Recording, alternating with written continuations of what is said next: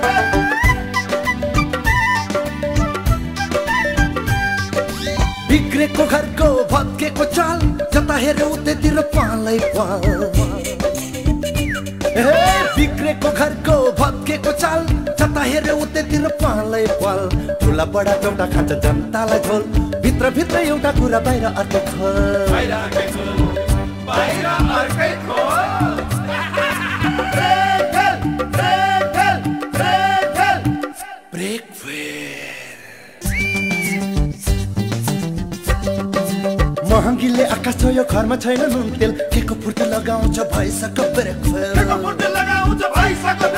वाक्क दिक्क पारे यिनले सबै ठिक्क पारे।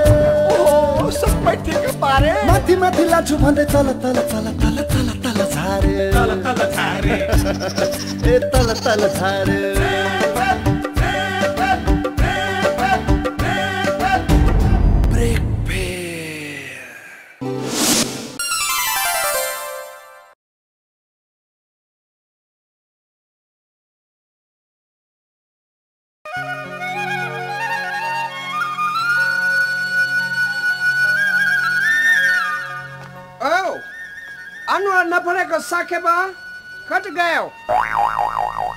माई गॉड तेरे पेट काटेको डिस जान मन लागेको के भो किन गराएको के? भो नमस्ते जुङ्गे जेठान। मलाई टोइलेट जान मन लागेको पेट तेरै काटेको यहाँ टोइलेट काटे होला। ए यहाँ टोइलेट त जताततै पर्यो होला। एकैछिन है ओ माई गॉड हिजो बेलुका पिरो हाले होला पेट काटे होला यहाँ ल यो लिने उता बारीतिर जाने टोइलेट त्यहाँ सानसाना रुखहरू छन्। अनुहार चाहिँ रुखले छेक्नु अरू हुने कुरा त यस्तै हो। हुन त तिम्रो कपालै लामो लामो छ। त्यो कपाल अगाडि मुख छोप्यो त भइगयो हो नि। लाज लाग्ने आँखामा हो कि अरे? ओ माई गॉड यो घरमा टोइलेट छैन? घर त यस्तो छ के टोइलेट राख्नु? गो गो बारीमा गो। ओ त्यस्तो ठाउँमा कसरी टोइलेट गर्ने? एक ठाउँमा गएर टुसुका बस्दा काम सकिहाल्छ नि। पेट काटेको बेलामा दायाँ बायाँ के पनि देखिँदैन। हामी यसरी नै हुर्क्यौँ। ओ माई गॉड यो गाउँमा खान सजिलो फाल्न धेरै गाह्रो। बिहान उज्यालो नहुँदा किन उठ्नु पर्यो त तिमीलाई? ओ मेरो पेट काटेको धेरै दुखेको त्यही भएर उठेको know? ए ल ल ल ल ल। टोइलेट जाने बेला झोला किन बोक्नु पर्यो खोइ ओ मेरो झोलामा धेरै धेरै इम्पोर्टेन्ट कुरा छ। त्यही भएर झोला नछोड्ने होला। ओहो अब भो टोइलेट जाँदासम्म झोला छोड्दो रहेछ यसले। के तालको म त मरे पनि जाँदै जाँदिनँ। जतिखेर पनि शङ्खा मात्रै गरिराख्ने न्यु मात्रै खोजिराख्ने आफ्नो यहाँ माइतमा दाई एक्लै हुनुहुन्छ सघाइदिन परेन। बरु दाईलाई सघाउँछु बस्छु यहाँ दाईको सेवा गरेर। त्यसो नभए के भाइ? अबदेखि म शङ्का पनि गर्दिनँ। म यति माया गर्छु कि तिमीलाई? हेर धेरै माया गरेर मैले तिमीलाई यसो शङ्का गरे हो नि त अर्को लैजाला भनेर अनुहार्नु पर्यो अब तिमीले पनि त अरू महिलासँग कुरा गर्छौ नि। मैले कहिले शङ्का गरेको छ? अब मेरो मनमा पाप छैन नि त भाइ। अनि के? मेरो मनमा चाहिँ पाप छ त। अब यो उमेरमा पनि म फेरि अर्कोसँग जान्छु होला त। अब यही उमेरमा तिमी मसँग आएको त हो नि। तिमी अन्त नजाला भन्ने ग्यारेन्टी के छ र? हेर न त्यहाँ बोल्या फेरि। मेरो दाईसँग कुरा गर्ने। अब दाईले जा भने जान्छु नभए यहीँ बस्छु।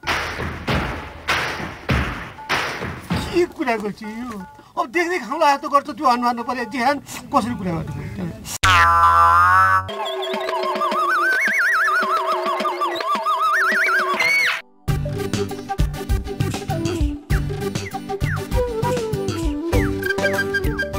difficult? It's very hard. Oh my god.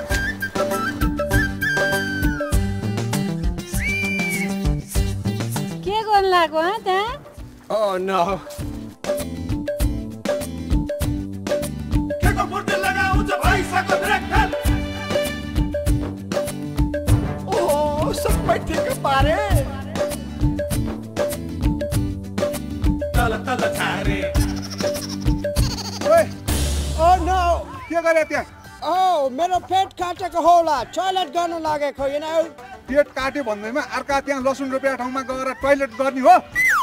यसलाई त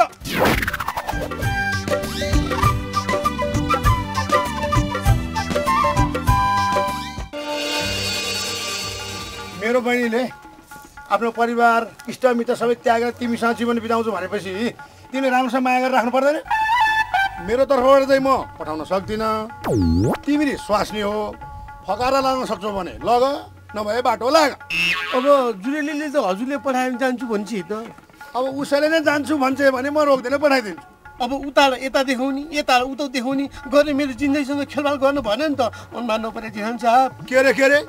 कसलाई अनुहार नपऱ्यो भने?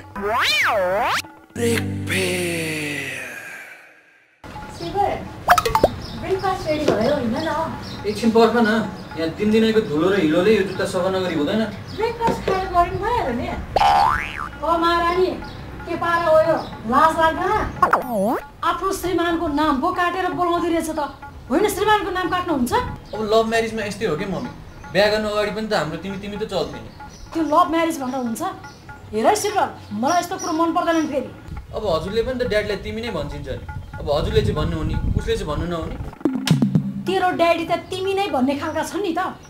हेर है आइन्दादेखि तिमी भनेको सुन्नु नपरोस् नि मैले।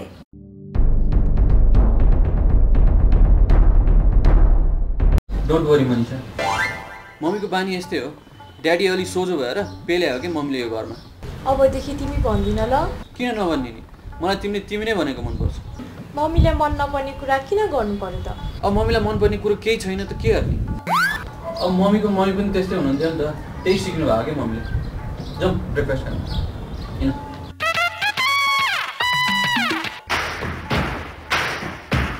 के हो नाची? कहिले चौतारा नआउने मान्छे? आज कताबाट नि? कहाँ जानु त खोइ? घरमा पनि कति बस्नु। यतातिर यसो आयो भनेदेखि साथीभाइ भेटघाट हुन्छन् गफगाफ हुन्छ दिन कटाउन सजिलो हुन्छ भनेर यसो यता आएको नि। अब त तपाईँलाई पनि एक्लै बस्न गाह्रो भयो नि। एक्लै भयो कि छोरी पनि बिहे गरेर गइहाली। तपाईँको छोरी त भाग्यमानी रहेछन् नि। एक्लो छोरो भएको घरमा परिन् सम्पत्ति पनि टन्नै छ माया पनि प्रशस्त पाउँछ। के माया पाउनु खोइ? सासु चाहिँ काहीँ नबागी छुटिरहेछन् चित्त बुझाउनै गाह्रो छ भन्छ छोरीले। ए तिनी त भलाद्मी महिला हुन् त। हामीसँग व्यवहार गर्दा त राम्रै व्यवहार गर्छिन् त। बाहिर राम्रो भएर के गर्ने? घरभित्रै खराब भयो। अब ज्वाइँले माया गर्दै भइगयो नि सासूसँग जीवन काट्ने होइन क्यारे। भनेर के गर्नु? त्यही घरमा बस्नु परिहाल्यो। सासु चाहिँ जट्टा जस्ती छन् ससुरा चाहिँ देउता जस्ता पर्या छन्। खाना त अहिले बुहारीले यही पुर्याउन आउँछे बुहारी भएर पनि सजिलो भएको छ मलाई त। नत्र बुहारी नभए दिउँसो पसल बन्द गरेर घरमै भात खान जानु पर्थ्यो बुहारी चाहिँ तिमीले राम्रै पाएको हो बाल डर डरमा। त्यो एक्लै छोरी भनेर त्यो होमनाथले पनि छोरीलाई राम्रोसँग पढाएको छ। तिम्रो श्रीमती पनि त डङ्ग होला नि। दिउँसभरि बुहारीसँग गफ गरेर बस्न पायो। के को गफ गरेर बस्थे अलि छुच्ची छे नि त मेरो श्रीमती। उसको इच्छा विपरीत छोरोले बिहे गरेर ल्यायो त्यही भएर चौबिसै घन्टा रिसाइरहन्छे। मलाई त खौला जस्तो गर्छे त्यो बुहारीलाई त के देखि सहन्थे र नाफा नखाइकन। घरको कुरा बाहिर नगर्नु भन्थे। मैले त तिमीलाई विश्वास गरेर यसो मनको कुरा खोले कसैलाई नभन्नु नि नाफा नखाइकन। तिम्रो कुरा गर्दै हिँड्नेलाई मलाई छु मतलब श्रीमती त तिम्रो च्वाकै छ बाल। त्यो भन्दा पनि बढी त तिम्रो श्रीमती हिँडेकै मनपर्छ मलाई। हिँड्दाखेरि त क्याट वर्कै हिँडे जस्तो गरी हिँड्छ। क्याट वर्क भनेको बुझ्दैन होला बिरालो चाल हिँडेको जस्तो हिँड्छ। लचकता चाहिँ तिम्रो श्रीमतीमा भरपुर छ ल। अर्काको श्रीमतीलाई त्यसरी भन्नु हुँदैन नि त नाफा नखाइकन। किन भन्नु मिल्दैन? नेपालीमा उखानै छ नि। बालबच्चा आफ्नो राम्रो हो श्रीमती चाहिँ अर्काकै राम्रो खै म अब मैले त त्यो उखान टुक्काको अनुसारै कुरा गरेको हो नि। त्यस्तै राम्रो श्रीमती पाएको भए त म त्यो ज्यान नि गर्थेन ल। अब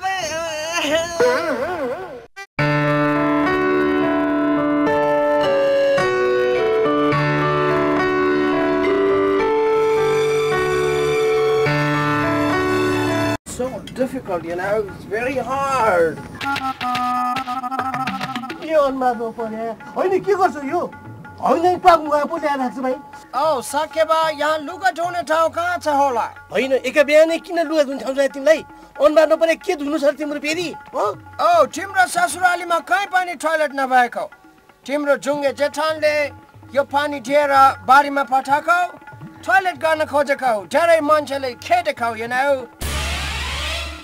अनि कतै पनि टोइलेट जान नपाएको त्यही भएर हाफ कट्टुमा फुस्केको लौ न नि बिताएछ नि त यसले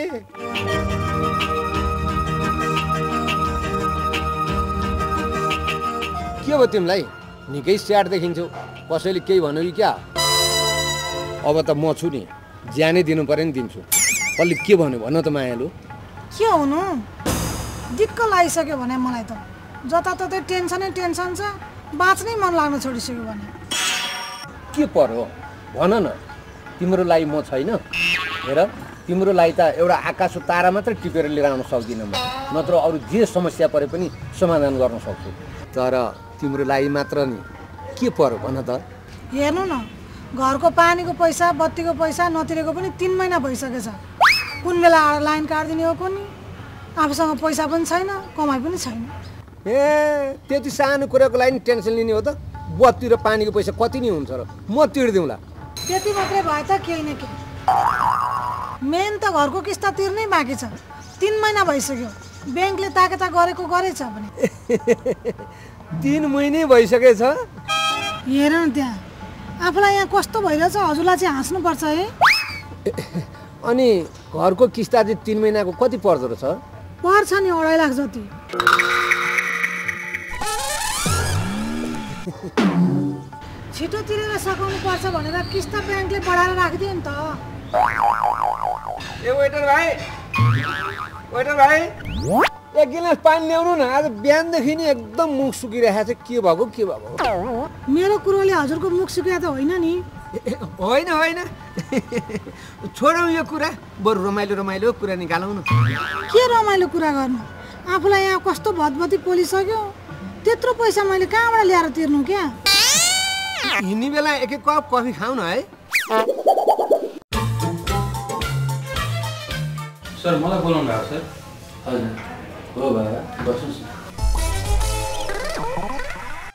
मैले आजदेखि दैनिक ज्यालादारीमा एकजना ड्राइभर राखेको छु। त्यही भएर त्यसलाई छुट्टै नयाँ हाजिर कापीमा हाजिर गराउनुहोस् है बाबा के को ड्राइभर राख्नु भएको सर हाम्रो अफिसमा त गाडी नै छैन। हजुर पनि मोटरसाइकलै चढेर हिँडिराख्नु भएको छ।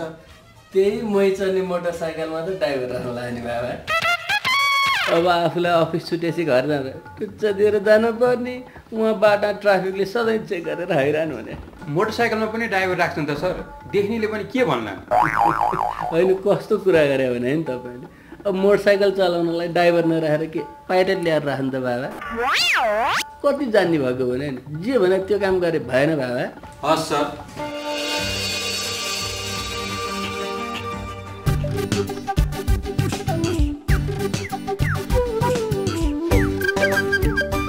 चिकन चिल्ली सेतो डारी कहाँ छ लोपा डारीमा अ चिकन चिल्लीहरू सँगसँगै हिँड्न थालेछ नि त तिमीहरू पर्नु थाल्यो क्या टोलमा त हल्ला भइसक्यो अलिकति मुख सम्हालेर बोल्नु है आकु दाई।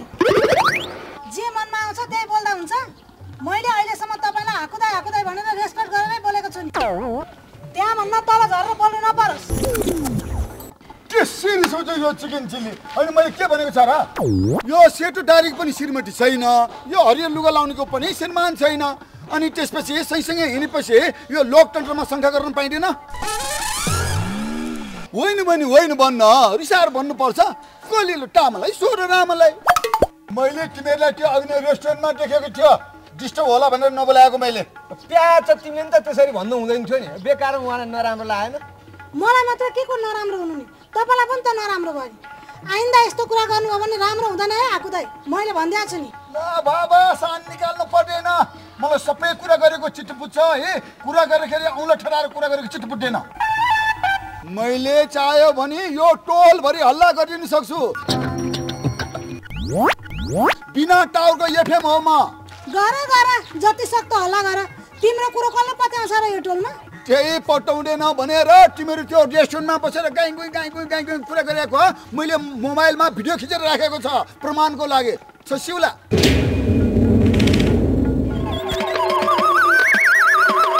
तर म त्यस्तो गर्दैन। किन थाहा छ? किनकि तिमी राम्रो छन्छ राम्री महिलासँग म कहिले पनि दुश्मनी राख्दैन। मित्रता कायम गरिरह्यो भने कहिले काहीँ यो सेटोदारी भएन भने तिमीसँग गफ गरेर फ्रेस हुनु पाउनुपर्छ नि म। एउटा उखानै छ नि छोराछोरी आफ्नो राम्रो श्रीमती अर्काको राम्रो। कहीँ मग?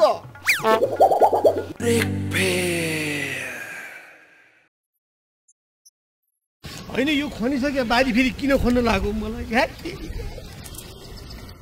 ए परे के टल्न परे बसिरहेको थिएँ खन्न चाँडै खन् औ यति धेरै बारी हामी किन खन्ने?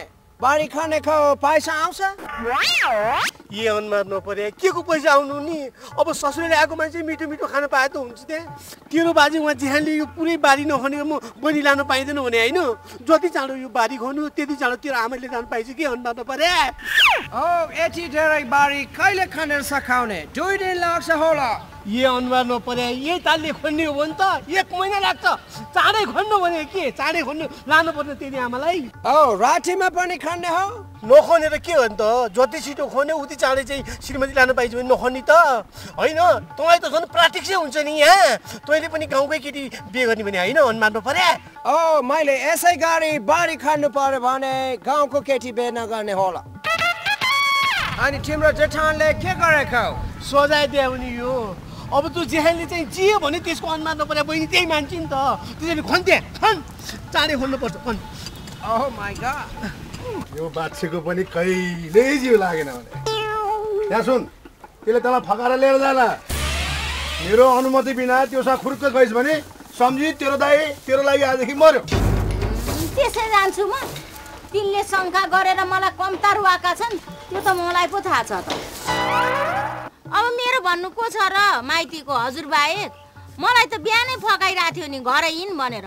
मैले त जान्न भनिदिएँ दाइले जे भन्नुहुन्छ त्यही मान्छु भनिदिएँ नि। त्यो बारी सबै खनिसकेस् न। अनि मैले के गर्नुपर्छ त मैले जानेको छु। केटी पक्षले जहिले पनि केटा पक्षमा झुकिरहनु पर्छ भने छ र। होइन। पिसा फेरेर जान्छु भने गएको मान्छे कहाँ गयो होला त त्यो?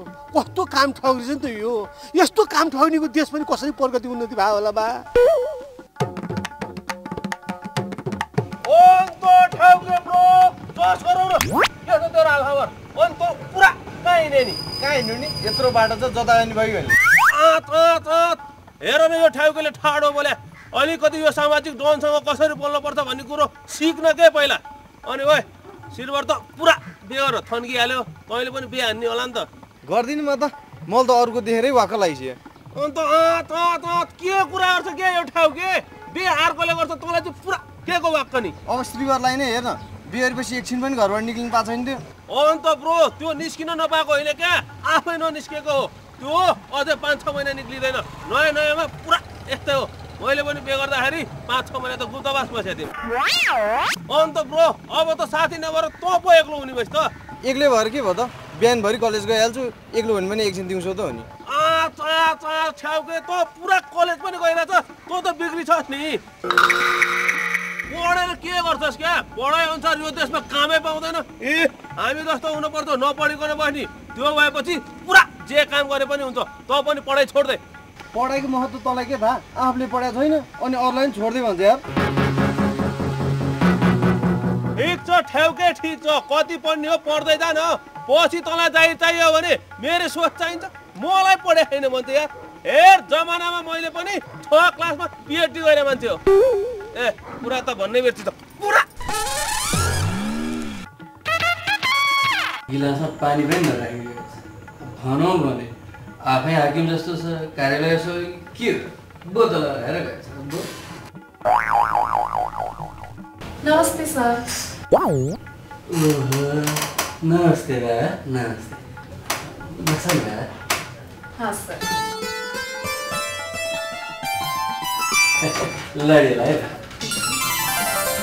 बा के बाबा बाबा भनिराख्नु भएको सर यो त गर्लफ्रेन्ड र बोयफ्रेन्डले भन्ने भाषा होइन र। मैले नि भन्ने गरेको छु नि बाबा। साह्रै राम्री हुनुहुँदो रहेछ भगवान्ले नि फुर्सदमै बनाउनु भएको रहेछ। साँच्ची बसाइ चाहिँ कहाँ छ बाबा? यही इमाडोल एरियामै हो सर। अनि यो अफिसमा कर्मचारी चाहियो अरे भनेर अनलाइनमा देखेको थिएँ अनि फर्म भरेँ। के रहेछ भनेर यसो बुझ्न आएको सर। बुझ्नै पर्दैन बाबा। मैले सबै ओके गरिदिइसकेको छु। ट्यालेन्ट मैले त अनलाइन फर्म पो भरेको हो त सर। सर्टिफिकेट त पेस गरेको थिइनँ। कसरी ममा ट्यालेन्ट देख्नुभयो हजुरले? तपाईँको ट्यालेन्ट सर्टिफिकेटमा होइन बाबा। अनुहारमै देखिन्छ। मैले तपाईँको फोटो हेरेरै ट्यालेन्ट थाहा पाइसकेँ बाबा। सर्टिफिकेट त हेर्नै पर्दैन। अब महिलालाई इज्जत गरेर प्राथमिकता त दिनु पऱ्यो नि। होइन र बाबा। Thank you thank you so much sir okay बाबा। अनि भएको छ कि छैन बाबा? भर्खर भर्खर गरे हो सर। छ महिना जति हुन लाग्यो। ए हो र? राम्रो बाबा राम्रो। आखिर एकचोटि बिहे गर्नै परिहाल्छ। समयमै बिहे गरेर राम्रो बाबा। यति उज्जवल अनुहार छ तपाईँको। जसले बिहे गर्यो त्यो मान्छे त साह्रै भाग्यमानी हुनुपर्छ बाबा। हाम्रो अफिसमा एकजना पनि महिला कर्मचारी हुनुहुन्न थियो अब तपाईँ हुनुभयो अफिसै भोलिदेखि उज्यालो हुन्छ। तपाईँको जागिर पक्का छ बाबा। भोलिदेखि चाहिँ नियमित अफिस आउनु होला है बाबा? Once again thank you so much sir you're most welcome बाबा। सर्टिफिकेटको फोटोकपीहरू चाहिँ छोडेर जाउँ है बाबा। सबै यही फाइलमा छ मैले बोर्डमा पेस गर्दैछु। हस् हस् सर म जान्छु है। हस् बाबा।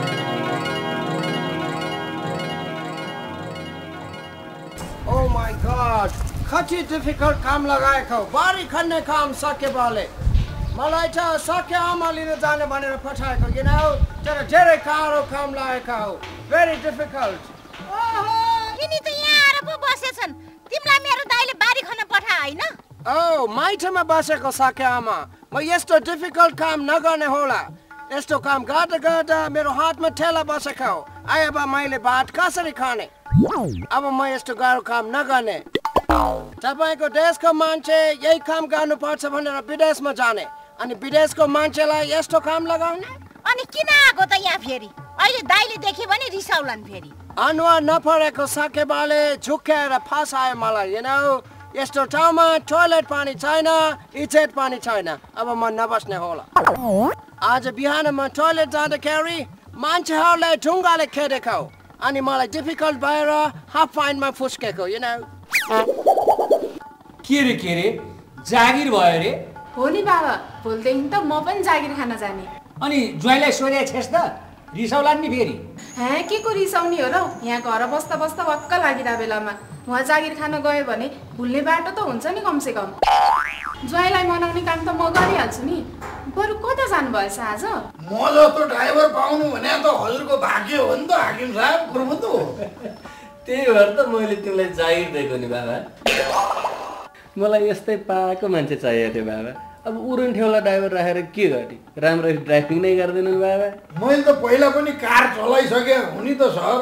यो मोटरसाइकलमा ड्राइभर गर्न लगाए चाहिँ यो पहिलो पटक हुन्छ के अरे सर गुरुबन्धु अब यसो गर नि त बाबा जाने बेला नि भयो मोटरसाइकल निकाल है? हुन्छ नि त के हाकिम साहब। साँच्चै।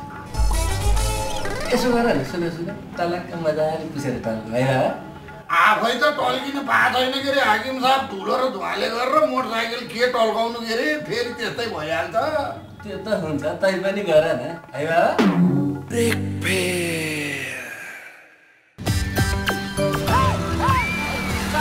बाबा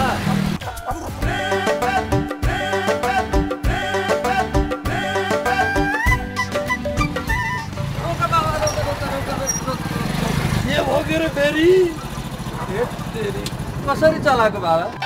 ओहो नराम्ररी थचारे बाबा। यही पाराले हो भने त भोलि बिहान टोयलेट बस्न धेरै गाह्रो हुन्छ बाबा। मेरो ड्राइभिङ र हकाइ नराम्रो होइन क्या हाकिम साहब? बाटो नै खाल्टा खुल्टी छ त म क्यारौँ कुरोबन्धु अब बाटो बनाउँदा कमिसन खाने नै हजुरहरू जस्तैले त हुन्ने हाकिम साहब। बाटो नराम्रो भएपछि थचारिन त पर्यो नि त। जनताहरू सधैँ यसै गरेर थचारेर हिँड्ने त हुन्ने कुरोबन्धु अब आफ्नो काम गरे त भइगयो नि बाबा। के बाह्र सत्तरी पुरा गरे? कस्तो दुखी रहेछ अब राम्ररी चलाऊ यो खाल्डाङ गुल्डुङ बाटोमा चाहिँ कुदाउने मेरो सोख पनि हो क्या हाकिम साहब। तर अब बिस्तारै लैजानु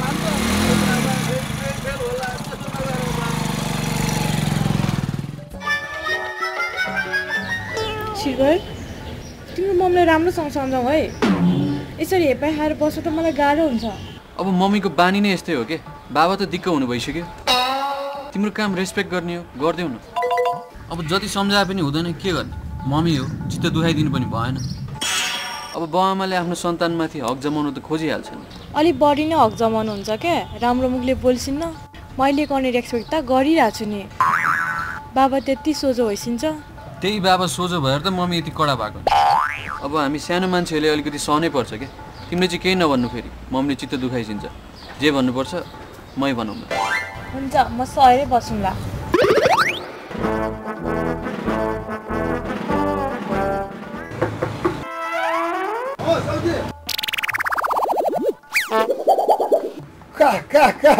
यो यो रहेछ।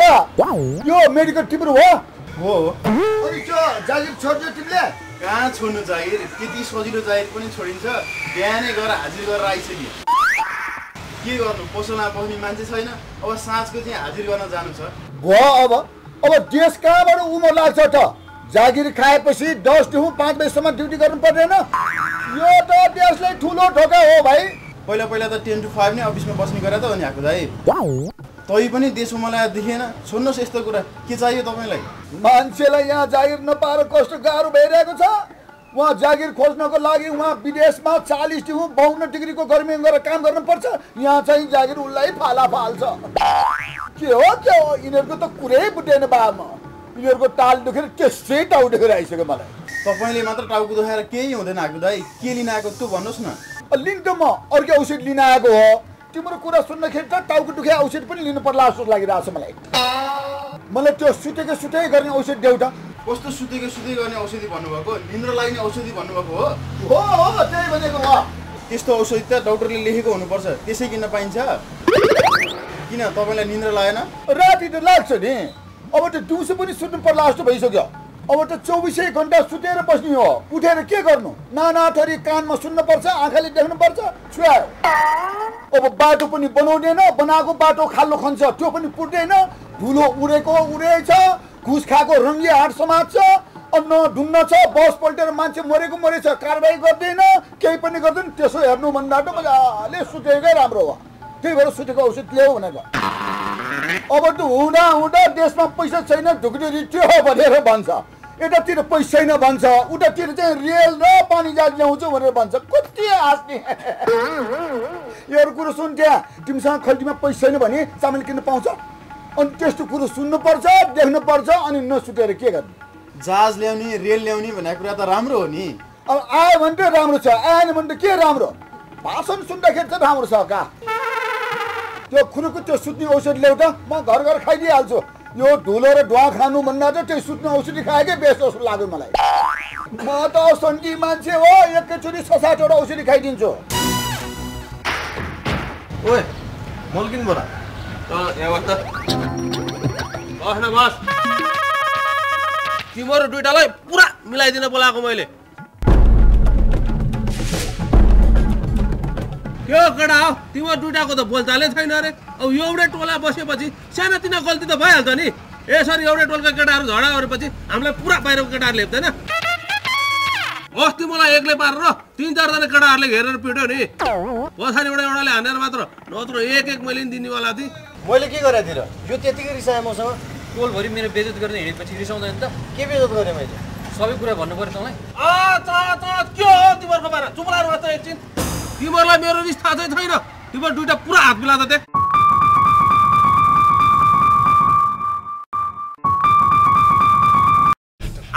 भने सुनिनुहोस् म रिसाउनु पर्यो क्या? खुर्कने मिला।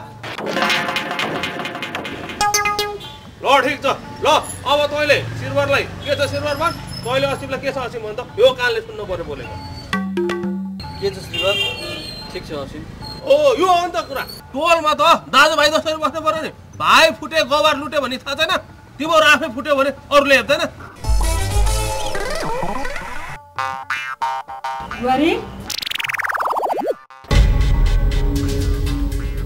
के पारा हो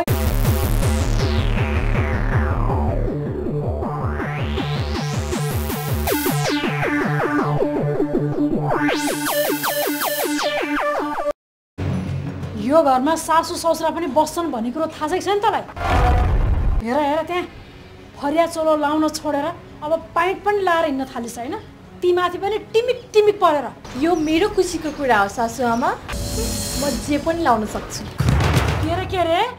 मैले त हजुरको धेरै कुराहरू सहेर बसिरहेको थिएँ त। महिला अधिकार हजुरले मात्रै पाउनुपर्छ होइन मैले पनि पाउनुपर्छ। ए। अब हुँदा हुँदै त मसँग अधिकारको कुरा गर्ने भइसकिस् होइन? हेर्दै जा के हुन्छ अब। तपाईँ पुरुषहरूसँग महिला अधिकार खोज्नु सासुआमा म तपाईँसँग खोज्दैछु। म एकछिन बजार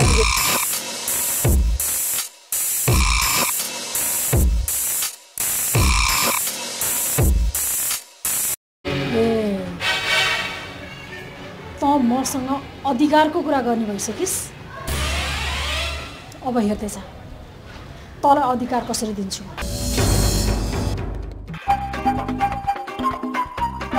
यो ठाउँमा त यो मोबाइलमा टावर पनि देखाउँदो रहेछ भने हिजोदेखि एकल फोन पनि हाल्छु नि मलाई त औ अनुहार नपरेको सकेबा हामी कहिले जाने घर? यो ठाउँमा त मलाई बस्नु मन छैन किन हौ जाने भने त हो नि।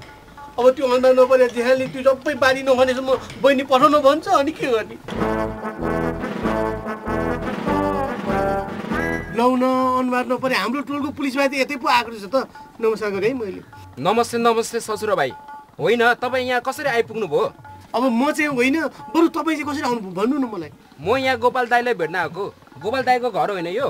हो हो मेरो अनुहार नपाए देखाउनु पनि थियो उहाँको एउटा एक्लै बहिनी रहेछिन्। घर बिग्रेर माइतमा ल्याएर राखेको छ अरे। अन्त बिहा गर्नु पर्यो भनेर एउटा केटा खोज बसन्त भाइ भन्नुभएको थियो। त्यही भएर मेरो काकाले मिल्छ कि भनेर लिएर आएको नि त।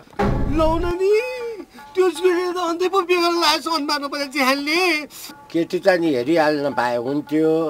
के अरे बाबु केटीको नाम? जुरेली। बिग्रेको घरको भत्केको चाल जता हेऱ्यो उतैतिर पालै पाल। बिग्रेको घरको भत्केको चाल जता हेऱ्यो उतैतिर पालै पाल ठुला बडा एउटा खान्छ जनतालाई झोल भित्र भित्र एउटा कुरा बाहिर अर्कै खोल।